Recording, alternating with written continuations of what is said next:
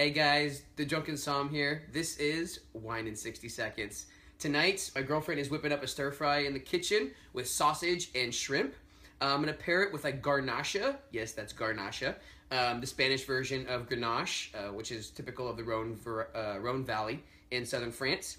Um, this is from a region, this Evodia is from a region in Spain, um, which is very typical of Garnacha. Uh, produces some great wine.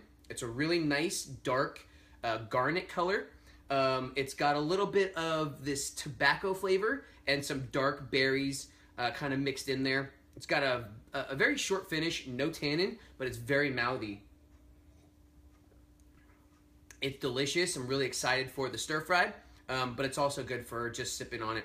Um, this wine is great. It was only $12 at Whole Foods. Check it out. I love it. You will too. Remember, it's what you like, not what people tell you you like. Cheers.